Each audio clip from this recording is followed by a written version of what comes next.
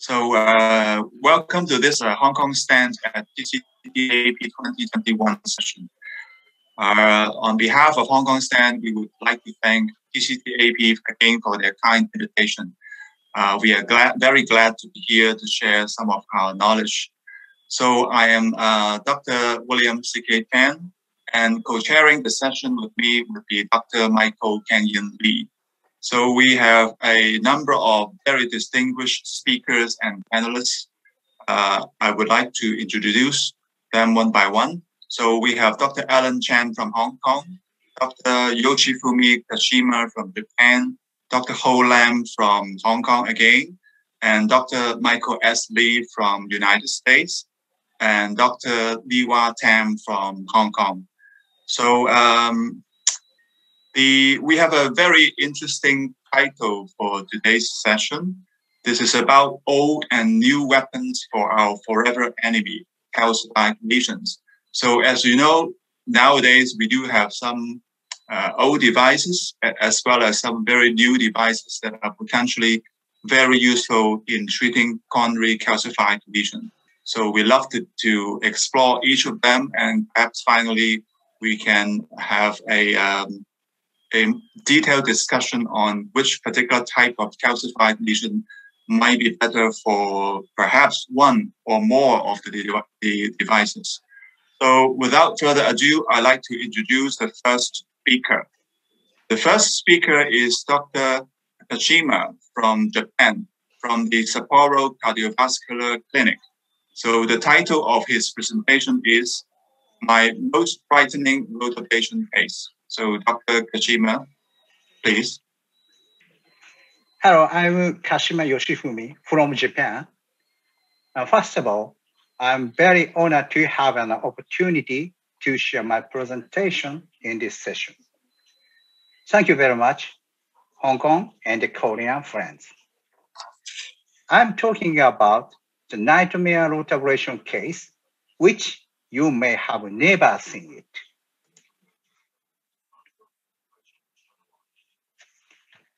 I'm sorry, I have never had any nightmare rotablation case in my own procedure.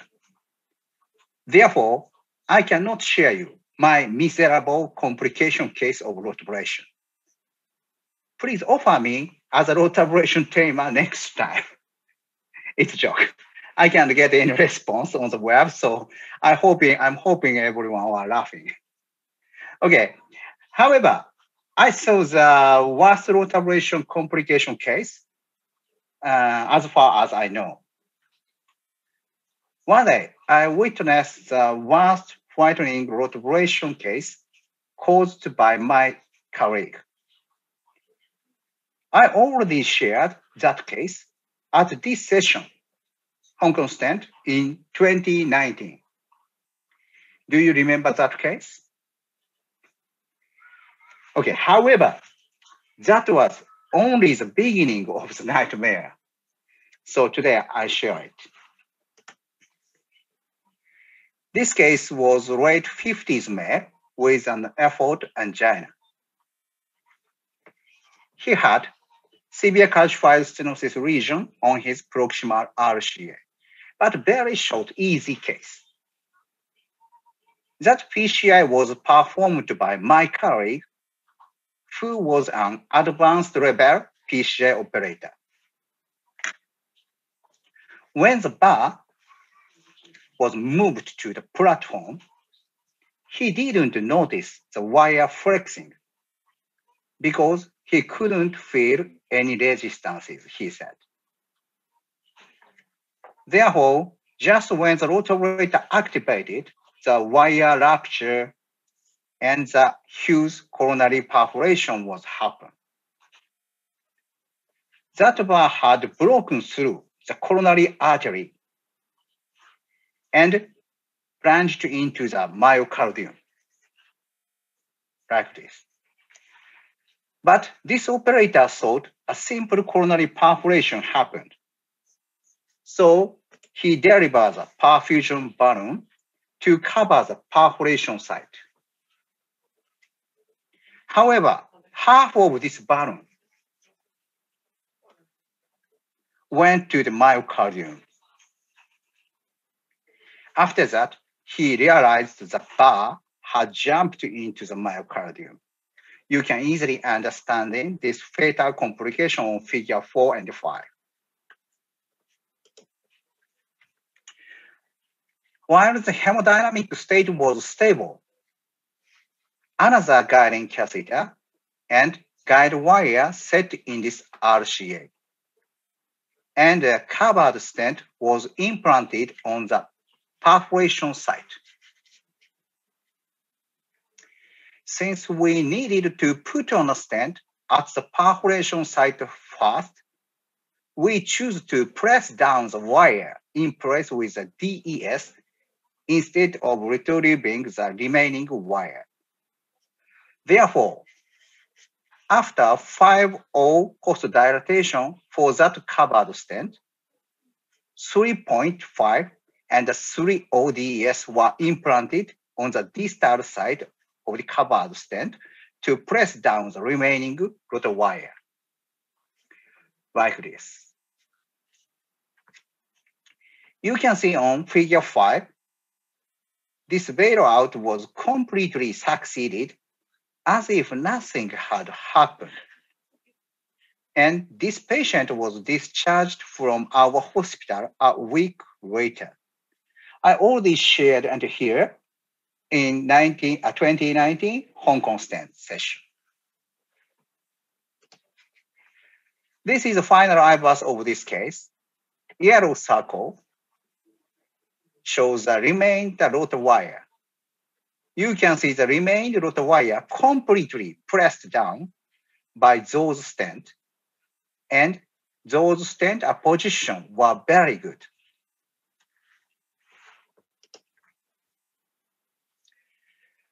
We made some scheduled follow-up for this patient.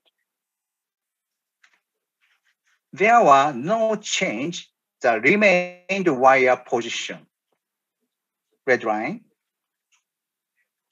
on CAG at 8 months follow-up.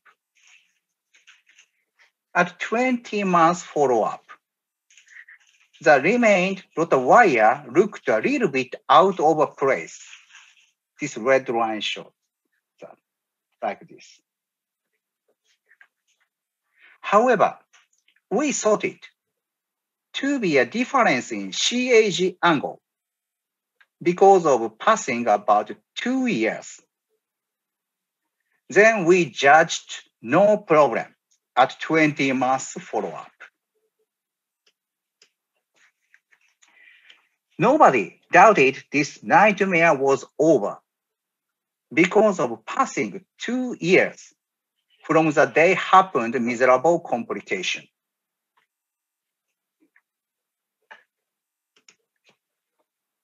just after only a month, one month from 20 months follow-up.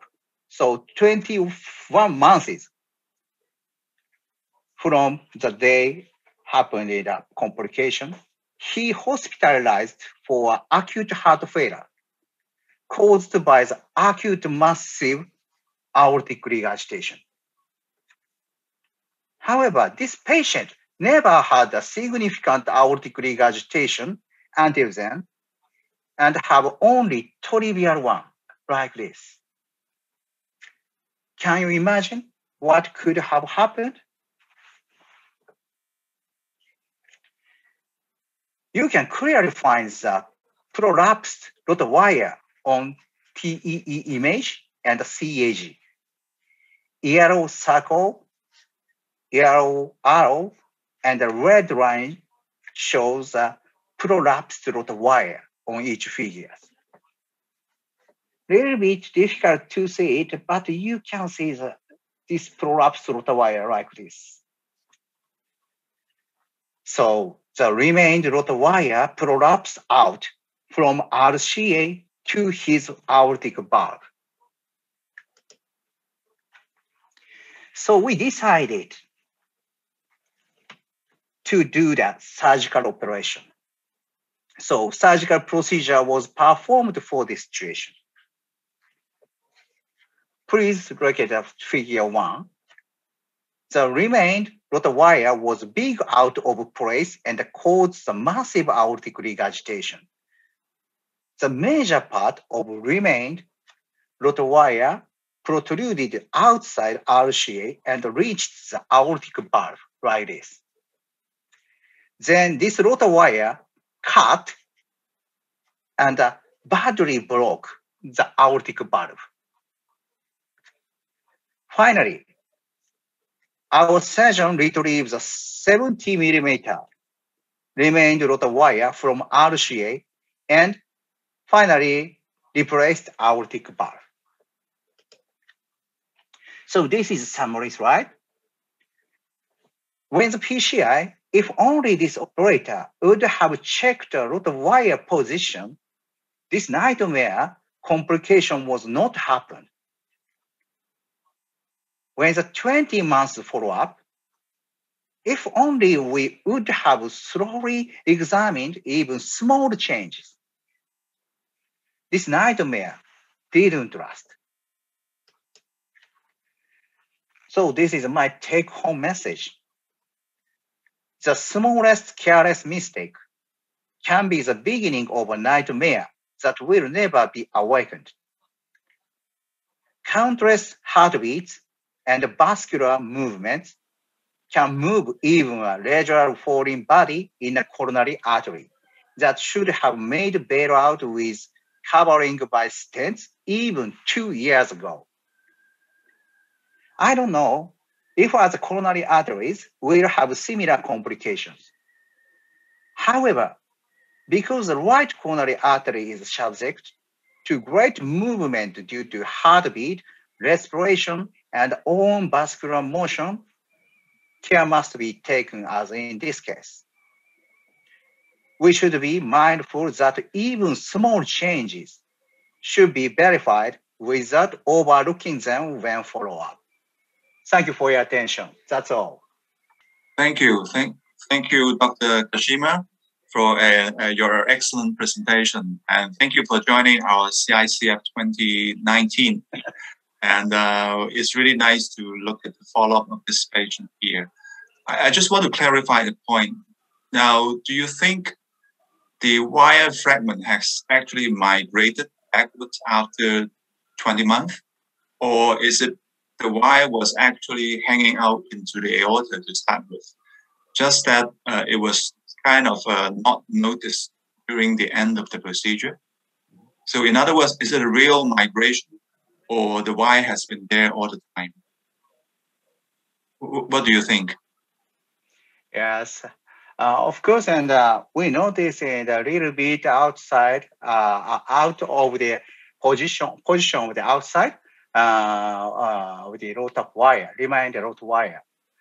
However, two years, uh, two years uh, over the uh, two years period, gives us the uh, safety, safety. Mm. So we don't think remaining rotor wire prolapse into the aortic uh, uh, our, uh, RCA to the aortic valve. So um, of course, and uh, we should check it uh, uh, another angle, CH angle. I think so. Mm. Because the wire is supposed to be uh, crushed or trapped under a, few layers of drug-eluting stents. Mm-hmm. So uh, I'm not sure, so sure if the wire can actually migrate after two years, say. So, yes, of course. Mm. Yes, uh, of course, and uh, uh, I think uh, I have uh, uh, about the 10 cases like the similar situation. Of course, and I pressed down the wire to for the bailout. However, almost all case, excluding mm. this case, no problem. Mm. For after one year, two years later, three years later. Mm. However, only this case is happen. Mm. So I think in the RCA migration is very hard compared with the left artery, coronary artery. Mm. So mm, of course I, I am amazing it. And Dr. Kashima, is this uh-huh. a rot- rotofloppy wire? Yes, right, rotofloppy wire. Why? Um, it's a bit difficult to imagine a floppy wire because sometimes you might see guide wire all the time. Mm. A floppy wire, even it's around the aortic valve, it will actually damage the aortic valve because the wire should actually uh, flow around in the aortic valve together with the blood flow. So it's Yeah, yeah. very difficult to like stay in one position to actually injure the, the aortic valve. It's a bit unusual, I would say. Yes, of course. And uh, if the tip affect to the aortic valve, uh, tip of the wire affected to the valve, of course, floppy wire is very soft. So, uh, but it, uh, uh, this wire cut the Mm. part of the shaft. Understand? So shaft part is very hard. So Mm. maybe it is happened this complication. I think so. Mm, mm. Yeah. I, have an impression. Uh, I understand, um, uh, as mentioned by Dr. Kashima, most of the case, if we gelled the uh, uh, uh, the wire over there with the stand, it's okay because most of the time um, the broken part of the wire probably will be elongated and remaining shaft of the wire will be relatively floppy. But unlike this case, uh, is probably is the guide wire is broken by the uh, uh, by the, by the uh, rotor So it's a sharp cut Maybe and very sharp. uh, yeah. and the length is I think is a perfect match. The length, uh, the stiffness, and then you will make the the in, the prolonged injury to the aortic valve. I don't know. Probably is the, the very, very stiff part of, of the leg. In, in case the short um, the, the, the guy wire broken is more sh- uh, shorter, close to the osseous without protruding much, probably may not be an issue. Hmm. Right. Dr. Kashima. Okay. One, Just, uh, uh, one- one one more more short- short comment. Okay. Yes, uh, Dr. Kashima. I thank you for sharing this. But just uh, for the, I mean, uh, for the junior. So for that case, for ordinary motor beta case, so do you think a guiding catheter, we need a supporting guiding catheter in order to prevent this complication, or you prefer uh, just a less of supporting, but more coaxial guiding catheter will be more beneficial or more safe in doing motor beta?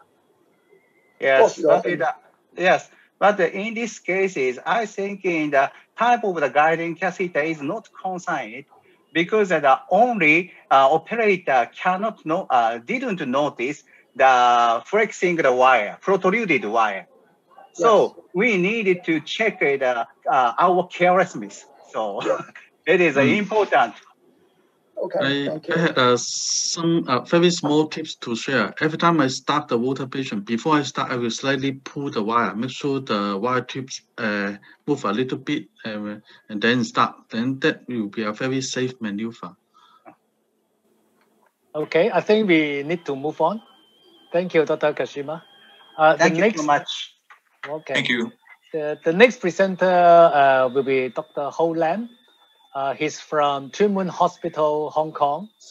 And he's going to talk to us uh, on the conventional as well as the non-conventional use of the intravascular lithotripsy. Dr. Lam, please. Oh, thank you, Dolly. So this is my topic, conventional and non-conventional use of shockwave. So uh, maybe shockwave is a little bit new to some countries, so I will start with some simple case.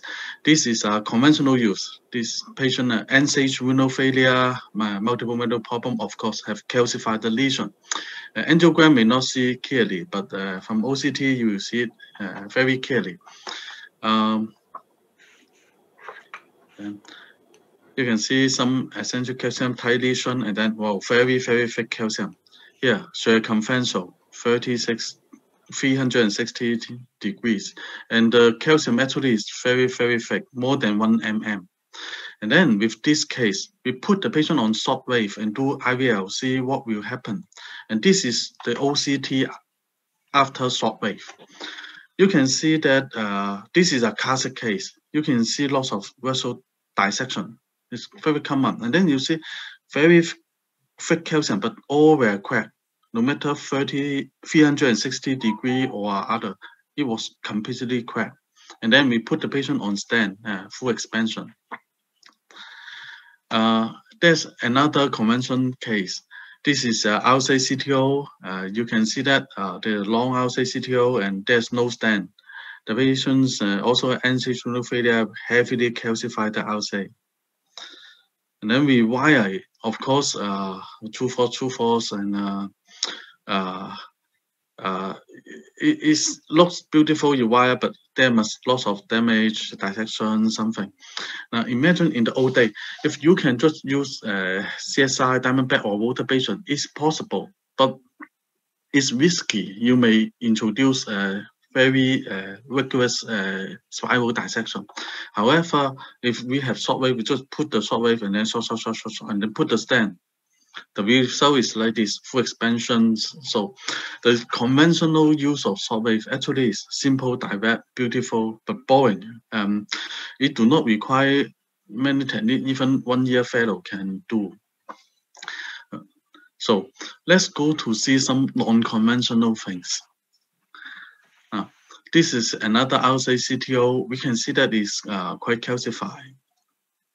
And uh, there with some uh, epicardial channel, uh, uh, initially, I don't believe I can wire from antegrade. Uh, the wire you can see go to a one track, dissection, in, not in the true lumen. So I already prepare short guiding for uh, retrograde and try and probably need few hours. But uh, for unknown reason, I'm not sure. Suddenly the wire guide fee go to the true lumen by luck. And then uh, I'm very happy and excited. And then just pedalate more balloon and put the patient on stand. However, I, I did not do the preparation well on the proximal outside. And then after stenting, you see the stent do not open well. Even I use high pressure balloon, I inflate the pressure up to 26, uh, 20x, but the but the stent still cannot be ex expanded. Uh, you can see that is the outcome after stenting, but just tend to not expand and here. So in the old day, maybe you have to make yourself in risk because you have to do older patients for newly implanted stent. But now I just put the patients on shockwave short for a few times and oh, it was fully open.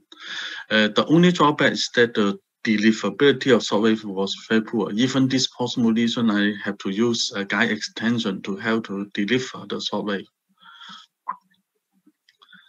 And uh, I, maybe this is still too conventional. Let's go for something even more non-conventional things. So there's another calcified lesion, calcified RCA. So uh, this case, I don't never try to use shockwave first because it's impossible to deliver. I try water patient first, water bay for uh, 1.5 bar, water bay for five times, uh, repeated water patient. And then uh, I try to balloon, it seems okay, and then uh, go for stenting. Uh, after water is uh, more easy to deliver things and deliver the stand and inflate the stand. And this time again, Seems that the expansion of stand was not well here. We can see uh, here, it do not expand well. So of course we try the shockwave. I try the shockwave again, but it still do not expand well. Even after the shockwave, it do not expand well. So we come up with a, this situation despite after water basin. After shockwave, the stents still do not expand well. So in this sort of situation, what could you do? Uh, yes, I, I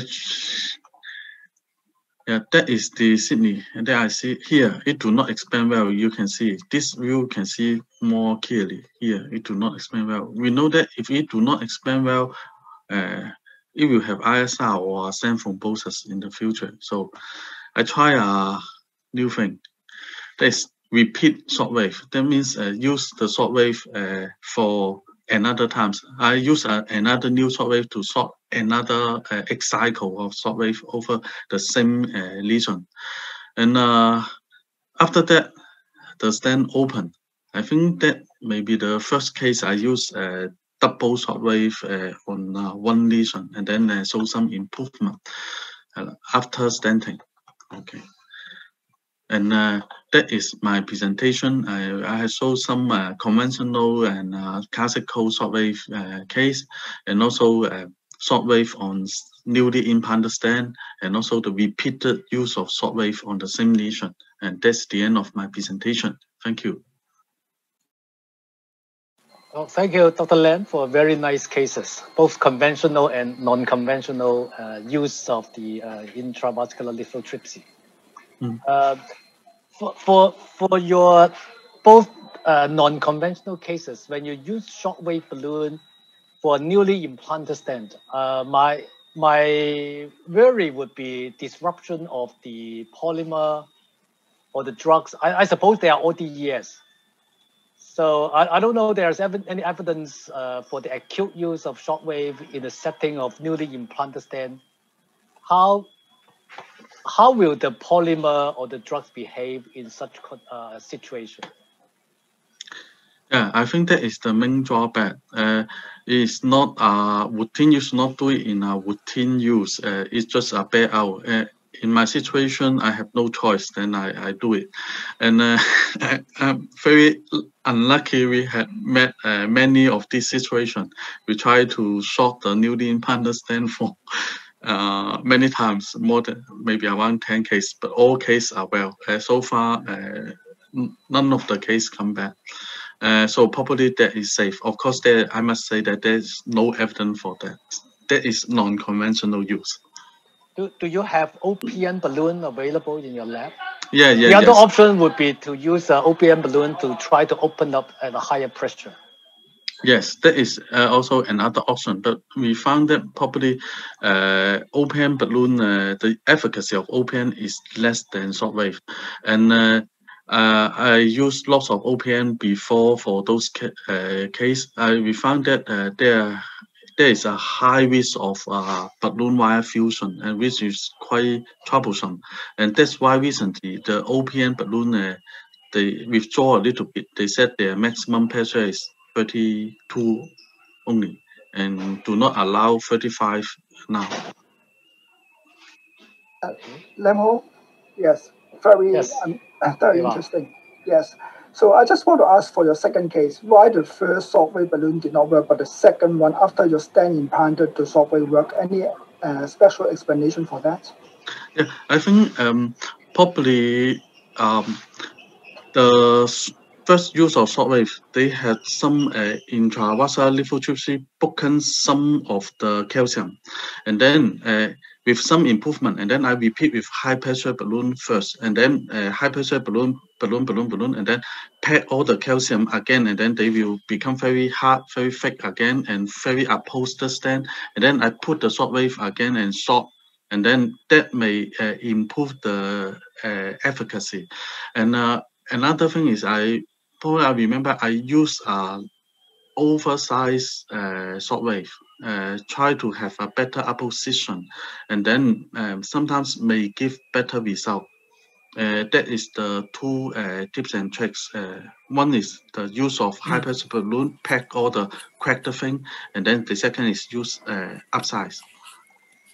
Uh, Dr. Lam, in in your last case, uh, so you, you did rotablation first, Yes. and then you put in stents, and then you find out that some of the stents are being underexpanded because of the calcium.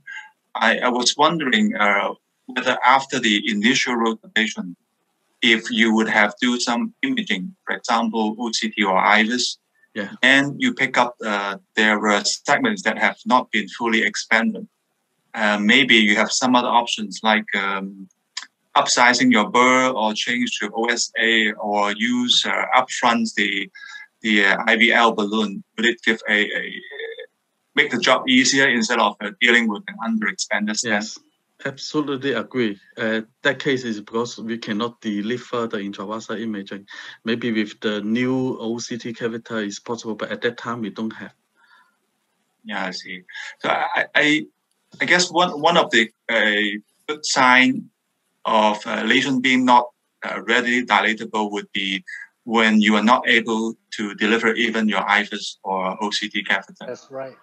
So if you meet a lot meet a lot of friction or resistance, then probably the lesion have not been fully uh, prepared. Perhaps. Yes. Any other um, Yes. comments or questions from our Yes, Alan.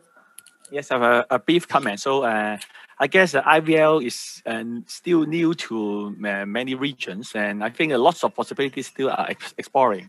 So I, I, I, I'm thinking uh, currently we don't know the limit of the IVL, in particularly, uh, is it it can crack all the calcium. I think there may be certain Mm. thickness of calcium that you may still have encounter difficulty. So I think one one device may not be fit all.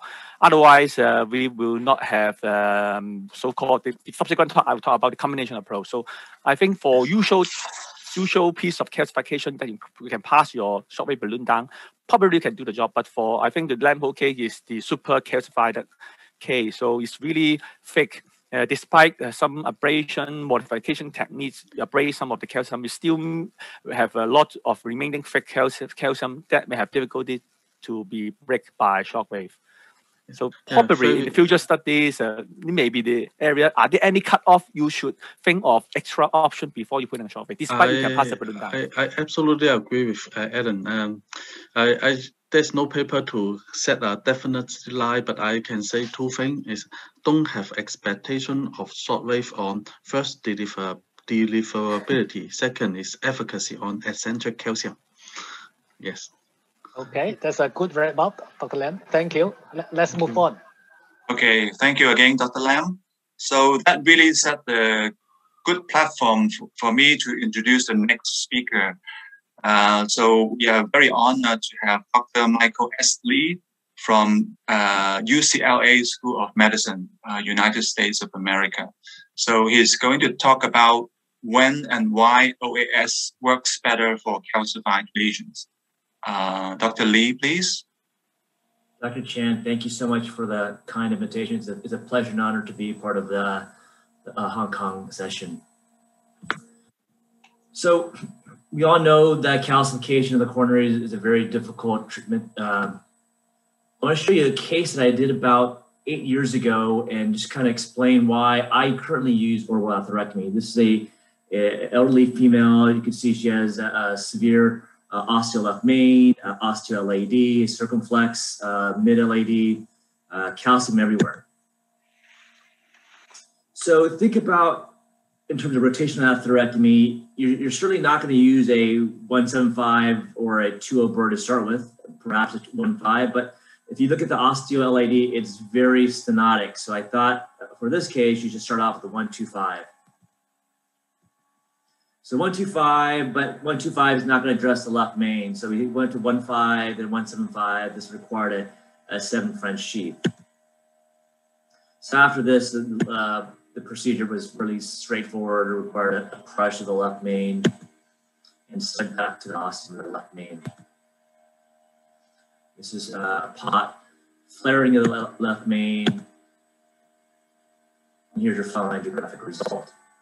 So I think this highlights the shortcomings of rotational atherectomy in that a one size fits all, doesn't really apply. You have three different burrs and it just takes time to swap out each burr, especially with a patient with LV uh, dysfunction. Now, the reason why I use orbital atherectomy is the following. One size actually does fit all. Uh, you start with a 125 crown, and if you um, just by hitting a button from low speed to high speed, you get what amounts to be similar to a 175 burr. The other potential benefit is that it has bi-directional sanding. So unlike, let's say, rotational atherectomy, where there's only atherectomy uh, when you go antegrade, you get no atherectomy when you come proximal. There are case reports where the burr with a 125 in particular has gotten stuck, and that can lead to big ramifications and complications. The other benefit is the following. Once the rotational atherectomy burr crosses, it generally stays in the path of least resistance. So let's say here that's making contact at the greater curvature. But what about here? You're not really getting contact at the lesser curvature. Orbital atherectomy, not only does it rotate, it orbits. So it's at 360 degrees. So you'll get contact throughout the entire vessel this actually provides a benefit in terms of perfusion. The fact that it orbits, it's not really going down the same path of least resistance. Henceforth, in theory, you should have persistent and consistent perfusion uh, throughout your atherectomy. So what sort of data do we have for orbital atherectomy? Well, this was a seminal trial performed in the United States with 49 uh, centers in the United States. We have three-year follow-up. At three years, if you look at the target lesion revascularization in heavily calcified vessels, 7.8%. This is really phenomenal. So you think about all the heavily calcified patients with diabetes, long disease, uh, dialysis, 7.8 is really great. Those were in a clinical study. Now, this is a real world study where we combine our data with St. Francis um, and other, another center in New York City. So 458 patients. What about safety? Phenomenal safety. Less than 1% risk of perforation, dissection, or no reflow. At 30 days, uh, MACE rates were acceptable, uh, predominantly due to myocardial infarction. At one year, MACE was 12%, predominantly driven by target lesion revascularization. Some several examples of how orbital can be used. This is a patient with end-stage lung disease who needs a lung transplant. CABG is not an option for him because if you intubate, very difficult to extubate. So you have left main disease at the distal bifurcation, ostial left main or LAD, and diffuse LAD disease. So again, you're not going to start with a 175 burr. The other benefit with orbital as compared to rota is that if you use a 175 burr, you're going to need at least a seven French guide catheter. With orbital, you could perform left main PCI with a six French sheath, and henceforth you could actually even go radial, although in this case we did not. So we started out with a 125 burr going across. Then to address the left main, we went high speed, which again is similar to about a 175 burr without having to swap out. So very simple, very versatile. In fact, that you could perform atherectomy quickly, maybe two runs with low speed, one run with high speed. And at that point, you could provide definitive therapy uh, we sent it across and the far circumflex was unremarkable. This was another complex patient. This patient had an occluded right, uh, severe um, left main LAD disease. Um, this patient had a cardiac arrest at, at, an outpatient setting, so it was brought to our institution. Ejection fraction was about 30%. So the patient has, again, prox LAD, distal LAD disease as well. And Impella was placed for hemodynamic support. This is a, again, a 125 crown, low speed followed by high speed. After pre-dilatation, the balloon fully expands. Then you start distally with a 1275 stent, uh, with a 325, post-dilate with a 3.5, and here's your final angiographic result. Patient did great. This is another situation where, again, orbital atherectomy really is very useful. This patient had severe PAD, so we could not use a mechanical circulatory support device. He had severe LV dysfunction. He had a complex distal left main bifurcation, a long diffuse LAD. So this patient, we decided to perform PCI because CABG was not considered an option given his comorbidities. So RCA was easily addressed. Then we addressed the left main because of the heavy calcium, decided to use orbital atherectomy uh, with the 125 burr. Excuse me. So again, you can see that his CS severe PAD, just long diffuse uh, SFA disease. Uh, he also had uh, external iliac disease, so not a candidate because of his PAD. So here's the final angiographic result of the RCA. Uh, it's straightforward. We did this all in the same setting. So this is a orbital atherectomy crown where we did low speed in the LAD and for the left main we use high speed. Because of the complex bifurcation disease, we decided to do a DK crush technique. So uh, pre-dilatation with a 325 balloon followed by a 325 23 millimeter everolimus stent. This is pre-dilatation with a circumflex. After stenting the ostial circumflex, uh, we put a 4.0 by 18 millimeter everolimus sit in the left main. And here's your final angiographic result after kissing balloons. So I think this case again highlights the versatility of using orbital atherectomy, the fact that you don't have to swap out different size burrs. You could do this from a radial approach, so you decrease risk of vascular complications. Um, and the fact that you can maintain perfusion during these complex cases is very handy. So failing to prepare is preparing to fail. Thank you. Thank you. Thank you, Dr. Lee, for your uh, excellent presentation. Uh, do we have any burning questions for Dr. Lee? Uh, Can- Dr. can I- Kashima, oh, okay, go go ahead. Go ahead. Okay, thank you for your good uh, sharing the case from your experience, uh, Dr. Lee. So I love the OAS concept for the classified regions. However, the OAS sometimes give us good aberration, but sometimes not. So recently, I rarely use it because and I cannot predict the risk and the effect from CAG, IVUS, and OCT at the pre-procedure, unlike with a rotablator. So if you can do it, please tell me how to predict them.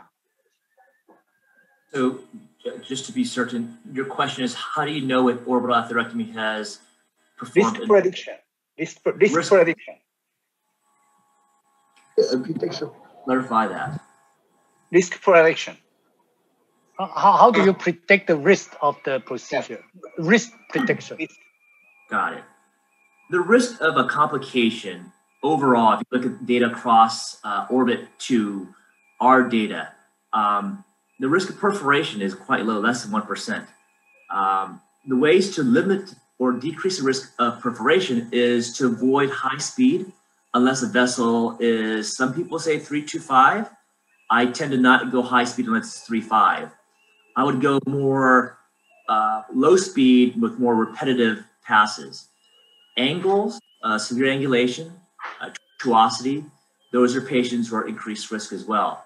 Um, if it's an ostial lesion, you got to be very careful. Some techniques that you can do is to take the uh, crown distal with, let's say, GlideAssist, and then work your way backwards.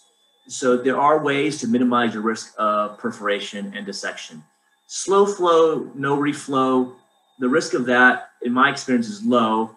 Generally, that will occur in patients with long diffuse disease. So what I would say is as opposed to going backwards and forwards, I'll make one pass antegrade, stop, give this patient a chance to quote unquote breathe, and then just make passes back and uh, forward, stop, back uh, and stop.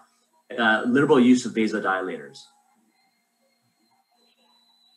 Um, so, uh, Dr. Lee, could you comment on the effectiveness of the optoatherectomy in terms of the distribution of the calcium, for example, concentric, eccentric, or uh, calcified nodules? Very good question. I think that is one of the strengths of orbital atherectomy. Unlike rotablator, if you pass and cross a lesion, it will cross continuously in the path of least resistance. It won't try to cut through calcium again. It will just go through that same channel you, pro- you provided. With orbital, every time you go backwards and forwards, you do more ath- you do more orbiting, and therefore, in theory, you have more 360 degree contact. With rotablator, if you cross with the 125 burr, it'll continue to go down that same channel. And if you listen to the cadence of the atherectomy with orbital atherectomy, every time you go back and forth and you're actually ablating, you could actually hear the high pitched squeal.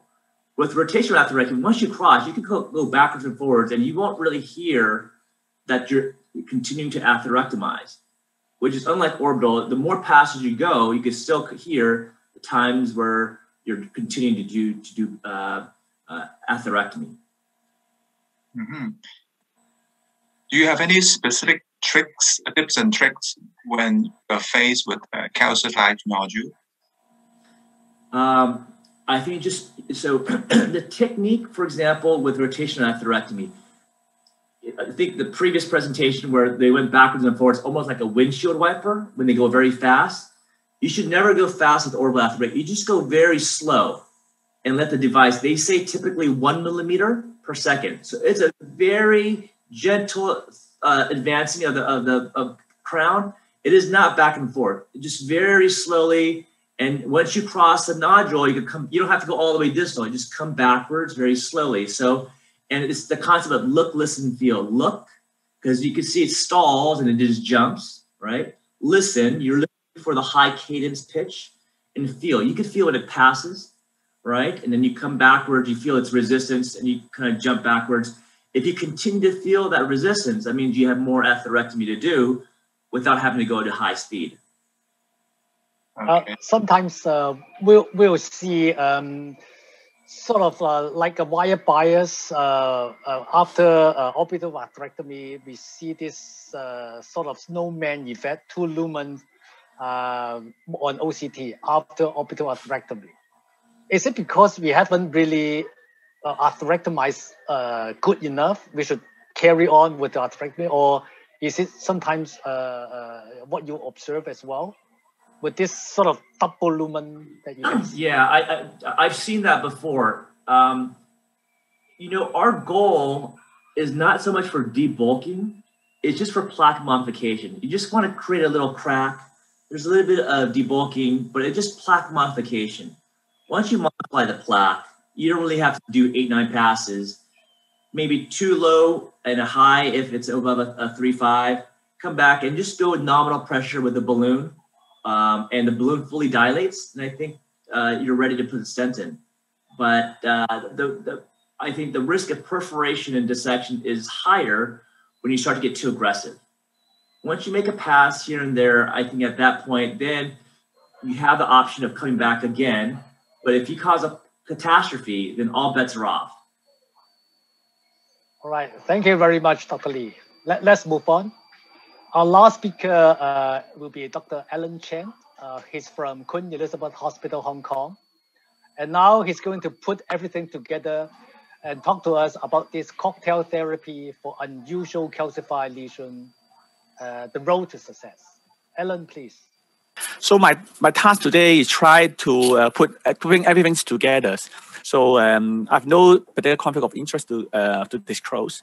So um, we now we have uh, lots of discussion of various weapons for our calcified enemy. So in the past, we have a lots of um, scoring balloon, ultra high pressure balloon, and then various types of atherectomy, and the latest uh, shock wave lithotripsy.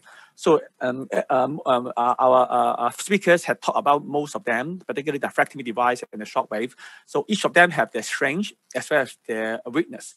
So um, before I go to detail, so probably I need to maybe refresh a little bit about our ordinance, uh, uh, something very fundamental. So I think nowadays uh, when we are facing calcified lesion, I think um, it's almost a must if you can do it with intravascular imaging. And in this particular papers, uh, published in new, uh, EuroInterventions, uh, the rule of five of OCT, the parameters, can able to um, help us to guide whether we need, need upfront uh, a potent uh, modified, uh, modified techniques uh, like atherectomy or shockwave. So the rule of five is simple. You only have an arc of more than half of the uh, uh, more than uh, 0.5 millimeters thickness, as well as along uh, more than 5 millimeter in length. So we need to think of uh, whether we need upfront atherectomy modifications. Um, recently, in the last one to two years, there are lots of uh, uh, interest in this particular areas, and uh, several uh, um, papers as well as uh, review articles had uh, tried to illustrate the contemporary approach of managing calcified coronary lesions. So, in, in, in, in common, most of the recommendation will rely heavily on, first of all, imaging, and also uh, whether we can pass the lesion with balloon or imaging catheters or, uh, uh, or not. We may need to use the upfront atherectomy to, uh, with or without additional uh, calcified modified techniques, like, for example, lithotripsy balloon. So in, uh, in another, in another series, actually, again, this imaging um, information we need to assess and then whether we use uh, high pressure balloon, lithotripsy, whether we can pass the, uh, pass the balloon or to use uh, uh, rotational atherectomy or orbital atherectomy for uncrossed lesions. So uh, commonly, again, um, they have a crossover with uh, upfront atherectomy with or without subsequent uh, lithotripsy in uh, uh, tackling really challenging calcified lesions. So um, in the European uh, counterparts, um, again, it's a, it's a very uh, busy slide and uh, complex interface but it's essential. They also uh, rely heavily on imaging to give us extra anatomical information and subsequently various uh, calcium modification techniques and in particular in these uh, recommendations uh, follow-up reassessment imaging modality need to assess whether there's adequate lesion or calcified uh, calcium modification before, uh, before you put in a stent. So uh, I would like to use two cases to illustrate the principle. So this is the first case, 74 years old gentleman with all the uh, cardiovascular risk factors, presented with heart failure, with impaired LV functions, nuclear scan, uh, nuclear scan showing the ischemia throughout all territories, and current angiogram shows uh, left, uh, right dominant uh, right dominant systems, um, and RCCTO with heavily calcified lesions. So RC is also occluded, which I'm not going to show you. Uh, you can see uh, from the angiographical point of view, there is a parallel trend lines of calcification along the whole LAD and uh, uh, uh LAD. So after heart team discussion, high-risk PCI was the suggestions. So the, uh, bring the patient for high-risk PCI using the Impella support. And after crossing the LAD CTO with a XTR wire, uh, I already feel the uh, microcapillars have a hard time to pass through the lesions. And uh, in of the severe underlying calcification, uh, is to be a first, uh, uh, the OCT cannot really pass the lesion. So I don't have the baseline uh, OCT image. But after crossing the lesion with the rotational atherectomy, I can make the track and with, without further resistance, I take the first OCT. So this is the first OCT already after the rotational atherectomy.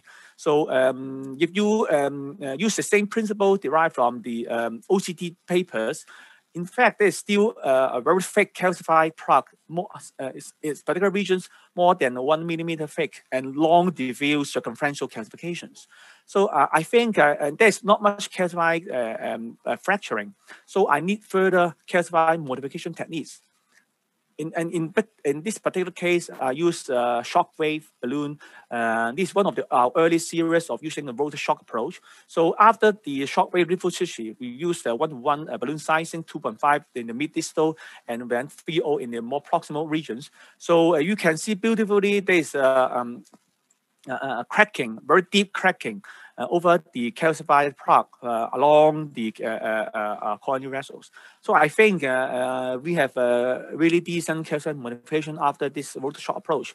Of course, before stenting, we routinely use high pressure balloon to further blow up the vessel before putting stents and it is the post-stenting and post-dilatation result. And you may agree uh, the stent expansion opening is pretty good.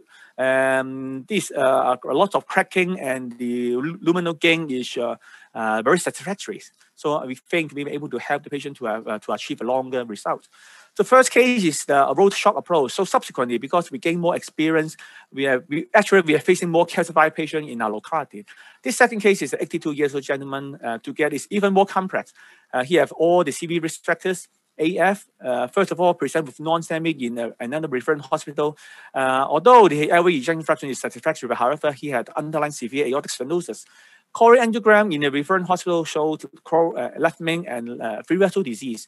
I think judging from the angiogram, you can able to see this, this is not really the calcified coronary, but it's a calcified man. Uh, you can see the uh, uh, uh, porcelain aortus, calcified mitral annulus together with the calcified aortic arch, uh, aortic valve. So in after heart discussion, we bring the patient for a PCI, uh, subsequently followed by a TAVI. So uh, I would like to illustrate the um, in principle, in particular, I'll say for this case. So um, we can pass through the OCT catheters initially, and this is the OCT run. You can see but for this uh, diffuse uh, calcification, uh, some region is concentric, but more proximally is eccentric, like the calcified nodule. Is a big vessel. It's a, uh, it's a 3-5 distal and 4-0 proximal. You can see these calcified nodules. So for the uh, most critical uh, uh, stenotic part, MO is 1.55 millimeters square only. And there's several regions with very thick calcium. So at the beginning, uh, we think that after we can able to pass the lesion with the OCT catheters, uh, we may able to try shockwave balloon. Uh, let's make it simple because for this severe aortic uh, stenosis case, we want to uh, keep it simple, uh, avoid uh, unnecessary atherectomy for any possible slow reflow. So we put uh, free O uh, shockwave balloon. But however, because of again, as presented by Dr. Lam, this is the uh, the poor deliverability of the device. This is the despite we're using an AL guide, this is the, the most distal part of the balloon we can pass and uh, we cannot further advance. And we did try to open up the balloon, but you see there's a, a really uh, uh, limited uh, success. And we did OCT after the initial few shock. We can only see only minimal cracking of the of the part, and there's not much effect on the critical lesions. Uh, without any other options, uh, uh we uh, pull out the orbital atherectomy for this case. These are big vessels and then the 3, 5, and 4 proximal. If you're using a rotational atherectomy, we need to upsize the balloon. And probably, according to series, uh, uh, atherectomy will have a less uh, low reflow as compared to rotational atherectomies. So we use a uh, slow speed in the more mid to distal part and then high speed in the more mid to proximal part and uh, uh, follow the same principle of slow pullback, uh, one millimeter per second, and then in and out, push and pull. We're able to, and from the visuals, auditory, and tactile feedback, we, we think we're able to, mod- we already have enough modification. And this is the OCT after the initial orbital atherectomy. You can see um, this is one of the what called snowman, um, is the um, for me, I think this is one of the, uh, uh, whatever you can argue, this is some prop modification, but from the OCT for the microscopic level, I think this is already um, a good lesion preparation already from the OCT point of view. But again, there is still a lot of calcium surrounding most of the region, despite uh, using slow and then high speed. This already uh, uh, close to 1.5 milli, mm luminal gain over this particular snowman regions. So after that, we pull out the uh, same ethereal balloon shock wave and then try to give more further modification. This is pre uh, uh, orbital atherectomy shock wave, and then this is the afterwards. So I think you uh, agree uh, there is already further lesion modification and lesion uh, expansions.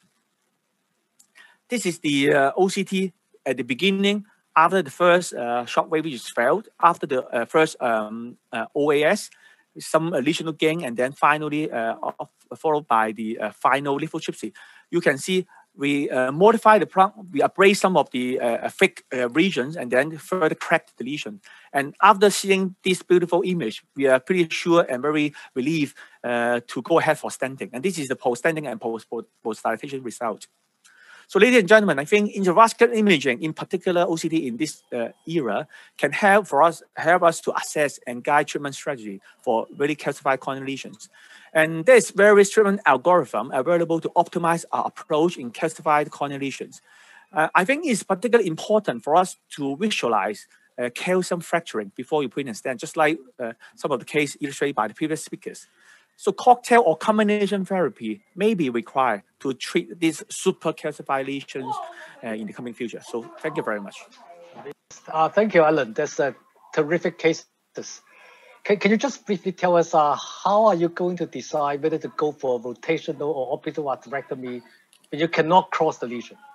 Yes, uh, I think um, uh, some of the speakers uh, have that present before have already mentioned some of the key points. So um, Traditionally, for really uh, uh, tight lesion, we may uh, use rotational atherectomy because um, for critical tight, even I can't pass the OCT catheters or imaging catheters, probably I may try to use rotational atherectomy.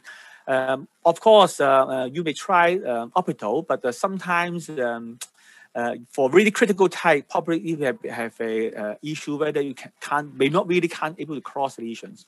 Of course, yeah, if you're patient enough and then uh, keep on uh, uh prepare the lesion in upfront, then you may be able to cross orbital. But still, for me, um, uh, a little bit worried. Maybe um, expert um, the Dr. Uh, Dr. Lee may able to comment their orbital experience for really critical uncrossable lesions with orbital. Um, but for me, I think probably uh, upfront uh, uncrossable lesion, probably I will try to use orbital, uh, a rotational atherectomy. I think it will still work, right, Michael?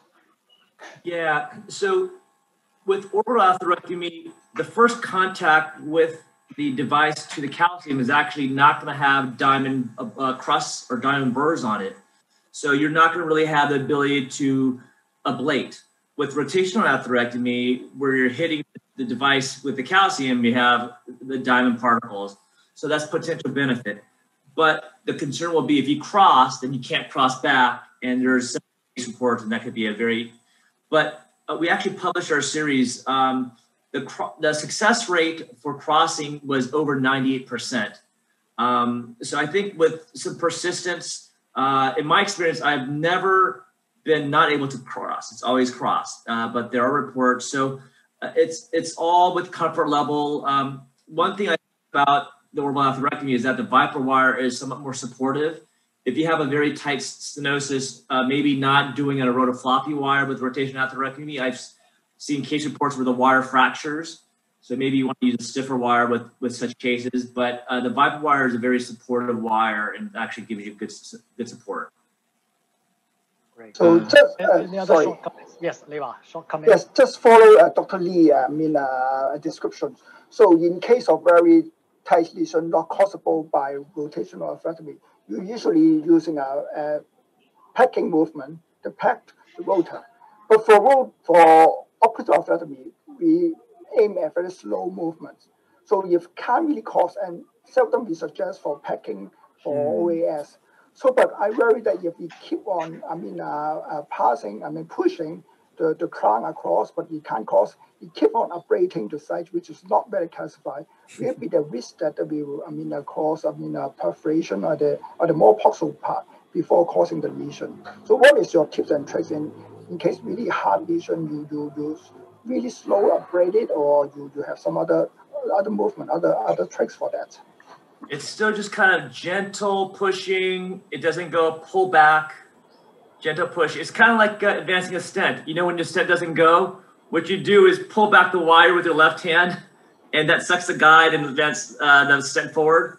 Same thing. I just um, gently go forward, and if it starts to feel like the velocity starts coming down, then pull back. Then allow the velocity to go back up to 80,000 RPMs. Gently go forward, and you can start here the stall of the device, then pull back. So it's also just a listening, uh, feeling, and just with gentle pressure. And you know, this is sometimes your heart rate starts to go very fast because you, you wonder about you're going to perforate, but just persistence does help. Um, you know, sometimes actually one little trick I did have when it didn't cross, I actually went on GlideAssist. It only rotates 5,000 RPM, but it's not orbiting, right? So it's not making a big loop. So it actually just crossed right through. So consider using uh, GlideAssist at 5,000 RPM. Mm. That's a Uh, good trick. Yes, thank you. I, I would like to highlight one point in Alan's case.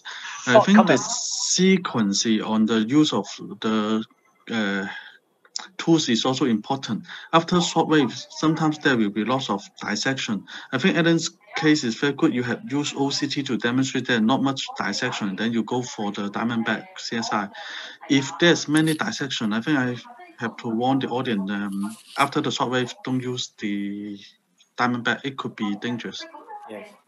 Okay. That's why um, I keep you. yeah. Yes. Yeah, I think we need to wrap up. So uh, thank you very much, uh, the panelists, my co-chair, two overseas speakers, uh, Michael Lee and Dr. Kashima. Uh, I think we have a very good discussion on the use of rotablator and then IVL and then uh, orbital atherectomy and then a combination of all these devices to treat our forever enemy, the calcified lesions. Uh, hope you all enjoy the session and uh, wish you a good day and a good night for you, Dr. Lee. Okay, Thank you take so much, care Dr. And I hope to see you soon. stay safe. Okay, hope to see you all. Bye bye. Thank you. Bye bye. Thank you, everyone.